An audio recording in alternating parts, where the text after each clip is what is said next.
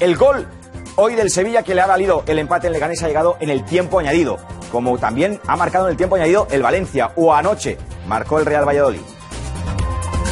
En Butarque, partido a dos tiempos, meteorológico y de reloj. Casi al final, en el tiempo añadido y con la neblina, Ben Yedder, enchufado con los faros antiniebla, puso el empate con el Leganés, con un Sevilla jugando con 10 tras la expulsión en el descanso del Mudo Vázquez.